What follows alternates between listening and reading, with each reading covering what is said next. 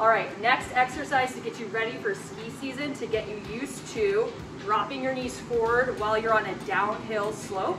This is also an excellent exercise to work on squat depth. If you're like me and have very limited ankle mobility, at home, if you don't have a slant board, you can stack some yoga blocks or books under your heels to practice depth in your squat. What Kid is gonna do is go as slow as she can on the way down. She can power up fast. She's gonna hit about eight to 12 reps, about three sets, about three to four times a week. If this is feeling easy, you can grab a kettlebell, you can grab a barbell, and go ahead and add weight to this. And you can also modify it with some tempo work, where you work slow on the way down on a one, two, three, pause, two, three, up.